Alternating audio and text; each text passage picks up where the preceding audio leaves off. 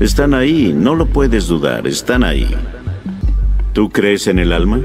Si no, cierra los ojos. Ahora digamos que el alma sí existe. ¿En qué parte del cuerpo pensarías que está? Creo que si el alma existiera, debería estar en el cerebro. Wow. Es interesante. La mayoría dice que en el estómago. Pero me gusta que tú no. La elegí precisamente porque no tiene historia. No lo echa a perder. Claro, pero ¿no cree que su descubrimiento es peligroso para el mundo? Después de mucha discusión y debate, llegamos a la misma conclusión. ¿Cuál es? Esto es cuando exploras las posibilidades científicas y se llega a un consenso, ¿cómo se puede mantener un descubrimiento tan vital para la existencia en secreto? Con ese descubrimiento, usted probó que hay vida después de la muerte. Yo prefiero llamarlo un nuevo plano de existencia.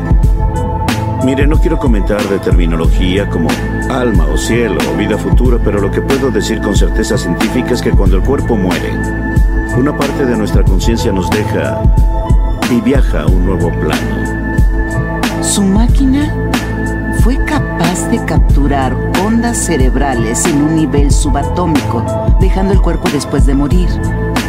¿Es eso? Es correcto. ¿A dónde van dichas ondas? A esto voy.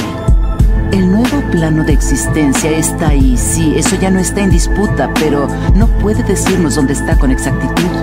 Cuando un tren sale de la estación, ¿es necesario saber a dónde va para entender que lo vio irse? Eso es complejo de digerir. Antaño se creía que la Tierra era plana. ¿Por qué se tardó seis meses en decirnos? ¿En dónde estaba? A mí me parece que yo los invité aquí, a mi casa. Sí, lo hizo y gracias. Pero solo recibimos esa invitación después de que el número de suicidios rápidamente llegó al millón. Y durante ese tiempo, celebridades, atletas, incluso colegas suyos acabaron con sus vidas. ¿Se siente responsable por todas las personas que se suicidaron? No. ¿Es todo? Es todo. Gracias, puedo volver a empezar. ¡Ali, no! ¡No! ¡No puede ser! ¡Por favor! ¡Llamen emergencia! ¡No puedo creerlo! ¡Hagan algo! ¡Ayúdenos, por favor! ¡Por favor! ¡No puede ser! ¡No! ¡No!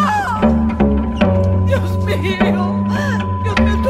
爹爹